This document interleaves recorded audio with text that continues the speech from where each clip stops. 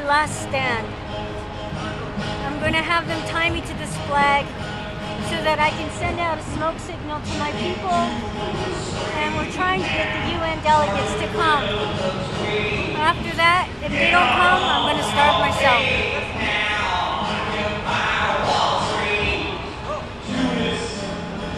I'm Melissa Balin, and we're here at Occupy LA on the steps of City Hall to exercise our First Amendment rights for freedom of speech.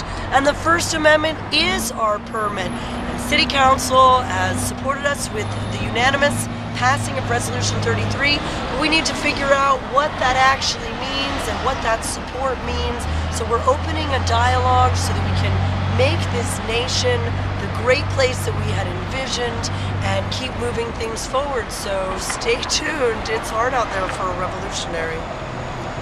I'm Melissa Balin. We're here at Occupy LA and on the uh, northeast quadrant of the South Lawn at the sovereign nation of freedom and peace, where due to 9000 BC discovery by the Tongva people and use usufruct since 1928, that's public use of land in Los Angeles, we are holding space for the sovereign nation of freedom and peace.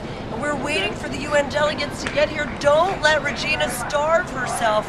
Please come down, tweet about it, and let people know